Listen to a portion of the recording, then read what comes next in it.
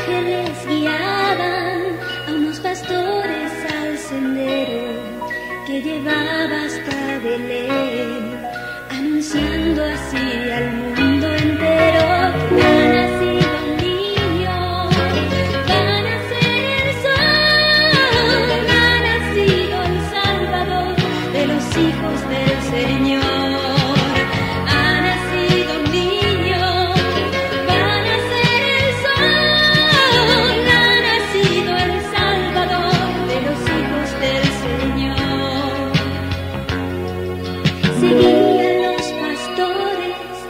Hasta llegar junto al pesebre. Encontré allí un niño de hermoso rostro alegre, con el niño entre sus brazos.